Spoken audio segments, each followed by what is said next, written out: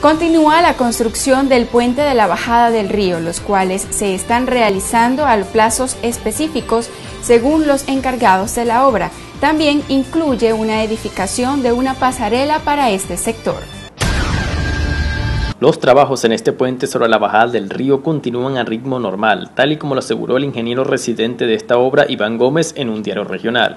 Esta es una importante obra ya que comunica dos importantes municipios vecinos como lo son San Rafael de Carvajal y Valera, por ello la urgencia de esta edificación. Gómez en sus declaraciones asegura que no ha habido ningún retraso en la construcción de esta obra, tal y como se rumorea por allí, sino al contrario que la misma va según los plazos establecidos y para el mes de diciembre debería estar lista, pero aseguró además que debido a las lluvias se dificultan estos trabajos. Así se reseñan estas declaraciones hechas por el ingeniero Iván Gómez en un diario local. Por otro lado, se puede observar en imágenes la colocación de una pasarela al lado del puente que servirá para el tránsito peatonal de las comunidades, para llegar de un extremo al otro de este puente. Cabe reiterar que el mismo será solo de uso peatonal, por ello recalcar el compromiso de las comunidades para su cuidado. Esta obra de la pasarela debería estar culminada prontamente. Para Noticias TV Andes, Emilio Blanco.